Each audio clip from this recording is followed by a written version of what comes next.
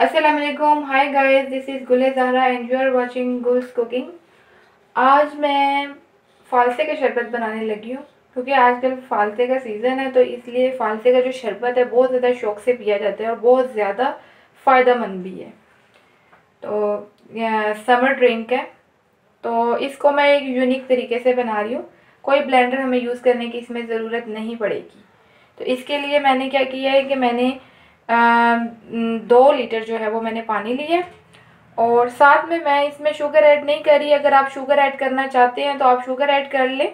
मैंने ये glucose syrup बनाया हुआ है। ग्लूकोज सिरप है, इसको कॉर्न सिरप भी कहते हैं, ठीक है? और ये बहुत सी चीज़ों के लिए यूज़ हो सकता है और इस रेसिपी में भी मैं ये यूज़ कर रही हूँ। पानी में हम इसे ऐड कर देते हैं। और साथ में जो है मैंने ये आधा किलो हाफ़ के जी जो है मैंने फाल से लिए हैं। ये फ्रीज हुए हुए थे, आप दूसरे भी यूज़ कर सकते हैं। आपको जितना मीठा चाहिए, आप उसके अंदर इतनी शुगर ऐड कर सकते हैं। कोई हार्ड एंड फास्ट रूल नहीं है। और साथ में मैं वन टेबल स्पून जो है, वो नमक भी यूज़ कर रही हूँ। आप काला नमक भी यूज़ कर सकते हैं। अब हम ये करेंगे, हल्का सा फ्लेम हमने जलाना है। ठीक है? लो फ्लेम के ऊपर, बहुत ज़्यादा लो फ्लेम के ऊपर हमने पानी रख देना और पानी इतना हो कि मतलब नीम गर्म हो कि आपकी फिंगर जो है वो अंदर आसानी से जली जाए, जले ना। फिर हम ये फालसे जो है इसके अंदर शामिल कर देंगे और तकरीबन हम इन्हें तीन से चार मिनट या पाँच मिनट तक इसी तरह इसके अंदर हल्का सा नीम गर्म पानी के अंदर ही इसे पकाएँगे और उसके बाद फ्लेम ऑफ़ कर देंगे। फिर बाद में बताती हूँ कि क्या करना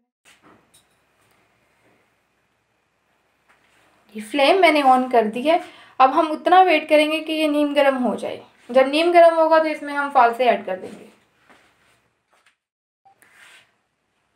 जी, पानी जो है हमारा नीम गर्म हो गया मैं इसमें फालसे शामिल कर देती हूँ। जी, देखिए, हमारे जो है वो पाँच मिनट हो गए और मैं आपको दिखा देती हूँ कि ये पानी बिल्कुल भी गर्म नहीं है। देखें, इसके अंदर फिंगर मेरी जा रही है। इस तरह का होना चाहिए। अब हम फ्लेम जो है वो बंद कर देते हैं। यहाँ पे मैंने एक प्लास्टिक का बाउल ले लिया। साथ में मैंने स्ट्रेनर लिए और मलमल का कपड़ा लिया आप कोई भी कपड़ा ले लें, ज़रा पतला होना चाहिए कि आसानी से स्ट्रेन हो जाए। अब हम फाल से इसमें स्ट्रेन कर लेंगे। कोई ब्लेंडर वाली दिक्कत नहीं है कि ब्लेंडर को धोना पड़ेगा या ब्लेंडर को साफ़ करना पड़ेगा। आसानी से आप इसमें बना सकते हैं। अब आपने इसे इतना निचोड़ना है कि इसका सारा जूस अच्छी तरह से निकल जाए। ये देखिए, हाथ की मदद से ना इसे आपने करना है। ये देखें इस तरह का ये रह गए देखिए, इसमें से अच्छी तरह से रस हमने निकाल लिए। अब हम इस पानी में टू से थ्री पिंच जो हैं ब्लैक पेपर ऐड करेंगे। अब हम जो है वो आ, मैंने जग में तो निकाल लिया है लेकिन अब हम ग्लास को भी करते हैं ज़रा डेकोरेट ग्लास को इस तरह से डेकोरेट करेंगे लीमू का एक पीस लेके ना आप इस तरह से लगाएँ। लगा लिया। अच्छी तरह से आपने लगाना है। और ये मैंने नमक लिया है। ये नमक लिया मैंने। इसमें हम इसे इस तरह से रखेंगे। और ये देखें। कितना ज़बरदस्त सा बन गया। इसी तरह हम दूसरे वाले का भी बना लेंगे। और गिलास की मदद से हम एहतियात से डालेंगे कि ये हमारी डेकोरेशन ना ख़राब हो।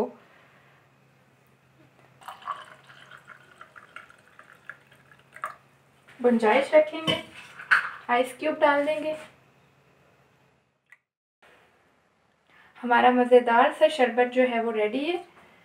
और इसे ज़रूर ट्राई कीजिएगा और अपने कमेंट्स दीजिएगा। सबसे ज़्यादा मज़े की बात यह है कि इसमें ज़्यादा बर्तन भी नहीं बढ़ते और ना ही ब्लेंडर में ये है कि आपको ब्लेंड करेंगे, उसके बाद इसे छानेंगे, इसमें से पानी निकालेंगे। तो बड़ा आसान सा तरीका है। आसान सा तरीके आप इसे यूज़ करें और इन्जॉय करें। समर ड्रिंक है, बहुत ज़्यादा फ़ायदेमंद है। अगर ये रेसिपी पसंद आई है तो हमारे चैनल को लाइक करें सब्सक्राइब भी करें और इसे शेयर भी करें। अल्लाह ताला आपको और आपके अहल खाना को हर किस्म की बीमारी और दुख से दूर रखे। एंड थैंक्स फॉर वॉचिंग हमें अपनी दुआ में याद रखें। अल्लाह हाफिज़। Take care